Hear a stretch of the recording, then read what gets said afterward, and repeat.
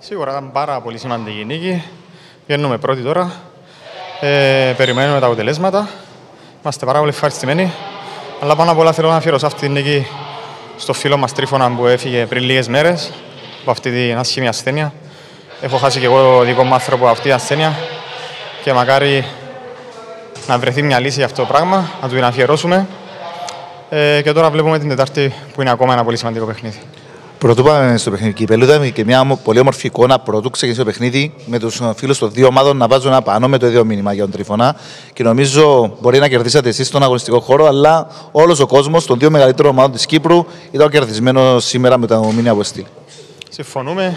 Αυτές οι πράξεις μόνο καλό κάνουν και, και όμορφαίνουν το ποδόσφαιρο μας. Είναι ένα άθλημα που πολύ αγαπάμε και με αυτές τις πράξεις νομίζω το κάνουμε πιο όμορφο. Είπες για το παιχνίδι κυπέλου, είσαστε μπροστά με έναν γκολ διαφορά, δεν μετράνε τα εκτός έδρας, αλλά θα έχετε τρεις κερκίδες και τον κόσμο στο πλευρό σας. Τι πρέπει να κάνετε για να ασφράγισετε το εισιτήριο; Ε, θέλουμε τον κόσμο δίπλα μας, κατακλείσει το γήπεδο και εμείς θα δώσουμε τα πάντα για να πάρουμε αυτή την ε, πρόκριση. Και ο Γιώργος Εφρέμ συνεχίζει να γράφει ιστορία. Ρέκορτμαν πλέον στο σκοράρισμα μαζί με τον μεγάλο Ανδρέας Τηλιανού Εντέρ Πιονίων. Δεν είναι και το πιο εύκολο πράγμα. Τι σημαίνει αυτό για τον Γιώργο Εφρέμ. Είμαι πολύ χαρούμενος. Ε, σημασία έχει να κερδίζουμε, να παίρνουμε τα προαθλήματα που θέλουμε. Και δεύτερο, περνάει στη δεύτερη μοίρα αυτό. Έχεις όμως ακόμα αντέρπι πολλά μπροστά σου. Μπορείς να γίνεις μόνος πρώτος, να περάσεις μόνος πρώτος στην κορυφή.